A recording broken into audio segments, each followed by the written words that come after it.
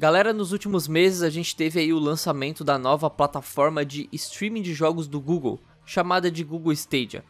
Com essa plataforma, o Google basicamente está mostrando pra gente como ele considera que vai ser o futuro da jogatina, como que a gente vai jogar videogame no futuro. E é basicamente sem comprar um hardware, né? Você não vai precisar comprar um console, você não vai precisar comprar um PC poderoso para rodar games em 4K, talvez 8K no futuro, né? Todos esses jogos estarão rodando nos servidores do Google e ele vai só te enviar a imagem desse jogo via internet. Então você só precisa ter uma internet decente para conseguir rodar os, os games né, na melhor qualidade possível. Só que assim, né, galera, se você acompanha a Central aqui nos últimos vídeos que a gente falou sobre Google Stadia, a gente cobriu todo o lançamento dessa plataforma, sabe que ela é um fracasso total, por diversos motivos. Eu acho que o primeiro deles é por mentir, porque o Google Stage acabou mentindo muito sobre a questão, por exemplo, de qualidade dos jogos. Eles prometeram 4K 60 em todos os jogos e não tá rodando. O Red Dead, o Destiny, tinha jogos rodando em 1080p, sabe? Numa plataforma que eles prometeram 4K. Sem contar também as diversas funcionalidades que não estão no lançamento, eles prometeram e não está, falaram que vão lançar durante 2020, vai demorar um pouco para chegar. Então, assim, Google Stadia sim é um fracasso. As pessoas, por exemplo, já estão abandonando os jogos do Stadia porque não tem uma base de jogadores grandes, como por exemplo em Destiny 2. Então, a plataforma tem diversos problemas, incluindo também a questão de internet, né? Porque você tem problema de latência, problema de conexão, não depende só também do Google, depende também da internet das pessoas. Então a plataforma não vingou ainda como deveria. Mas o Google ainda está focado nessa plataforma, ele ainda quer fazer dar certo e é a notícia que a gente tem hoje e ela é extremamente preocupante, velho. Porque basicamente o Google ele vai virar uma Epic Games em 2020. O Google acaba de anunciar, sabe o que, galera? Que teremos mais de 120 jogos chegando na plataforma em 2020, que é uma coisa boa, mas pelo menos 10 desses jogos serão exclusivos temporários. Exatamente. O Google Stadia vai virar a Epic Games Store, eles vão comprar exclusividades para o Google Stadia e isso é extremamente preocupante para todo mundo. Então, galera, quem fala com vocês é o White e eu vou passar essas informações para vocês e a gente vai debater sobre essa terrível notícia de que o Google vai comprar exclusivos, beleza? Antes de mais nada, eu já te convido a se inscrever aqui na Central. A gente posta dois vídeos por dia, um ao meio-dia e um às sete da noite. Então se inscreva, ative o sininho para ficar por dentro de tudo que acontece no mundo dos games e da internet em geral, beleza? Então vamos lá, galera. O Google ele emitiu aqui um comunicado no seu site oficial falando o seguinte: Oi, pessoal. Quando o Google Stadia foi lançado em novembro, proporcionamos uma ótima experiência de jogo para os jogadores e continuamos a trabalhar em direção à nossa visão de longo prazo para o futuro dos jogos. Essa parte aqui até que é engraçada, porque eles falam que proporcionaram uma ótima experiência de jogo, sendo que a plataforma lançou com, sei lá, 20 jogos, os caras do Stadia Pro, né, que para você jogar a 4K no, no Google Stadia, para você também ter acesso a alguns jogos grátis, você tem que pagar uma assinatura. Não é tipo como a gente esperava que fosse uma Netflix dos games, por exemplo, que você pagaria uma assinatura de, sei lá, 30, 40 reais por mês e teria um catálogo gigante de jogos para jogar via streaming. Não, no Google Stadia você paga o serviço Pro para poder ter algumas funções a mais, mas os jogos você tem que comprar a parte também. Então o Stadia Pro ele recebeu, tipo, acho que 3 ou 4 jogos de graça, que foi tipo o Tomb Raider e teve também o Destiny 2, sabe? Então, mano, um fracasso total e os caras estão falando que estão proporcionando uma ótima experiência. Sendo que nem os jogos em 4K que eles prometeram e nem as funcionalidades que eles prometeram estava lá, né? Mas enfim, o Stadia é uma plataforma em evolução. Estamos ocupados nos dois meses desde o lançamento, adicionando ótimos conteúdos, recursos e maneiras de jogar, entre outros. Já devia estar desde o lançamento tudo que vocês prometeram, né? Mas vamos lá, olha o que eles adicionaram. Adicionamos ótimos jogos à biblioteca do Stadia, incluindo seis títulos no Stadia Pro. Então eles adicionaram seis títulos de graça para quem é assinante Pro do serviço. Eu falei três ou quatro, mas eles adicionaram alguns depois.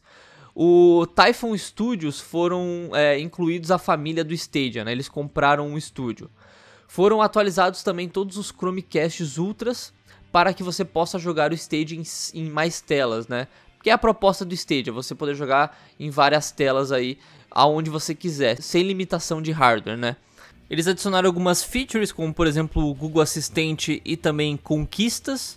Entregamos o um multiplayer né, para jogadores é, do Stream Connect no Ghost Recon Breakpoint. E agora, né, o, o, quem comprou o Stadia de pacote de fundador pode dar para o seu amigo, né, o, o, o Buddy Pass lá, né, que você pode dar para um amigo jogar também. Então isso aqui, galera, que eu falei até agora para vocês, o Google já colocou na plataforma, certo? Só que agora vem a parte tensa, vem a parte que vai deixar todo mundo irritado, que é o seguinte: temos muito mais planejado e continuaremos trabalhando duro para encantar os jogadores com a nossa visão para o Stadia. Desculpa, eu não queria rir, mas é engraçado eles falar que quer encantar os jogadores, mas vamos lá. Olhando apenas para a nossa programação futura, estamos acompanhando mais de 120 jogos que chegarão ao Stadia em 2020. Isso aqui é uma coisa que eles precisam né? O Stadia lançou aí com, sei lá, acho que 20 jogos, deve ter um pouquinho mais já. Mas, cara, é muito pouco jogo e, e desses jogos, muitos não são lançamentos. São tipo jogos antigos, como por exemplo Destiny 2, Red Dead. Então, tipo, muitos desses jogos as pessoas já jogaram em outra plataforma, até com uma qualidade melhor, que não precise jogar via streaming, sabe? Com lag. Não faz muito sentido. Eles precisam colocar novos jogos na plataforma também, para caso alguém que use o Stadia, que não são muitas pessoas, consigam jogar jogos novos e tenham a intenção de, de comprar um jogo no Stadia, né? E agora vem a parte extremamente tensa que me deixa extremamente irritado e provavelmente vocês também vão ficar. Visaremos mais de 10 jogos apenas no primeiro semestre desse ano, que estarão disponíveis apenas no Google Stadia no lançamento. Estamos trabalhando com nossos parceiros para compartilhar mais sobre esses jogos em breve. Então, resumindo para vocês, Google Stadia está conversando com estúdios para comprar exclusividades temporárias, tá? E é basicamente o que a Epic Games faz no PC já.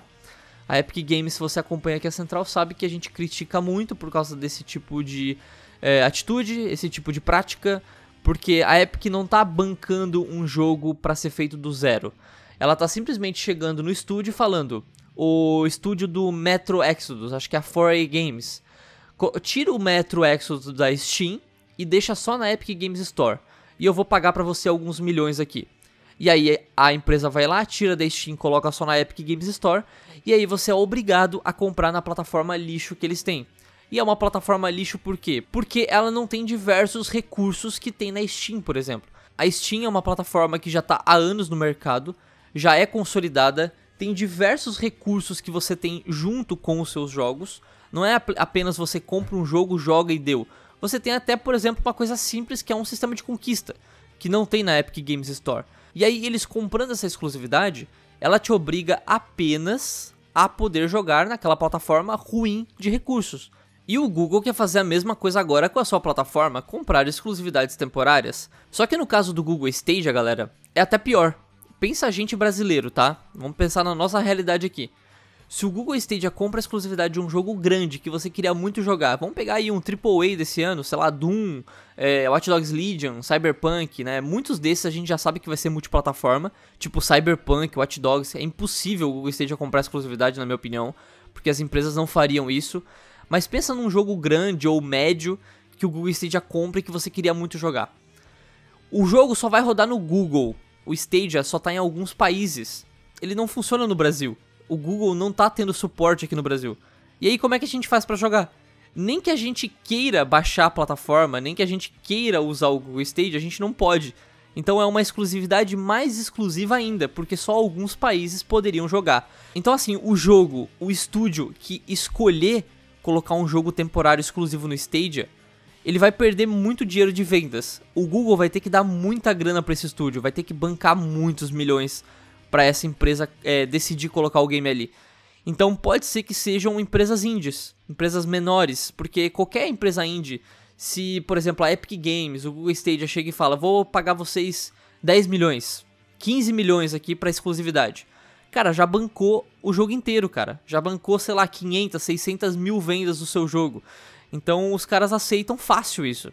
Só que é uma coisa ruim pro consumidor, porque a gente tá tendo uma plataforma ruim para jogar, entendeu? Isso que é complicado. E, e, acontecendo isso também com o Google agora, velho, é extremamente tenso. escolinha Epic Games, não é mesmo? E eles também estão falando aqui algumas funcionalidades que eles vão colocar na plataforma, né? Eles vão botar, por exemplo, suporte para 4K na web, vão adicionar funcionalidades do assistente da web também, suporte para telefones Android adicionais e também jogabilidade sem fio na web através do controlador do Stadia. Você não podia nem jogar, por exemplo, com é, o controle sem estar conectado a um cabo, tá ligado? Então, tipo, mano, plataforma quebradíssima, agora querendo comprar exclusividade, sinceramente, eu não sei mais o que pensar sobre isso, velho. A gente tá simplesmente ferrado se as empresas decidirem comprar, é, quer dizer, vender né, exclusividade pro Google. E eu tenho certeza que o Google tem muito dinheiro. Então, eles têm muito mais dinheiro, por exemplo, que uma Epic Games. A gente tinha visto uma época aí que a Epic Games estava pagando, sei lá, 15 milhões, eu acho, para a exclusividade do Control. Então imagina quanto que o Google não pode pagar por uma exclusividade de um jogo. Tipo o dobro, 30 milhões fácil, sabe? O Google tem dinheiro infinito praticamente. Então, cara, isso aqui é extremamente complicado. Eu acho que a gente vai ter muita dor de cabeça esse ano com jogos exclusivos. Cara, eu só fico imaginando se o Google comprar a exclusividade de um jogo gigante, tá ligado? Tipo um AAA que eu queria jogar muito e a empresa se venda para ele. Vai ser muito tenso. Mas eu quero saber a sua opinião sobre tudo isso. Você ficou irritado com a nova notícia que o Google vai, vai virar uma Epic Games Store agora da vida? Comenta aí e vamos debater junto nos comentários, beleza? Lembrando que a gente posta aqui dois vídeos por dia, um ao meio-dia e um às sete da noite, então se inscreva, ative o sininho para ficar por dentro de tudo que acontece no mundo dos games e da internet em geral, beleza? Então galera, quem falou com vocês foi o White eu vejo vocês no próximo vídeo. Até mais, fui.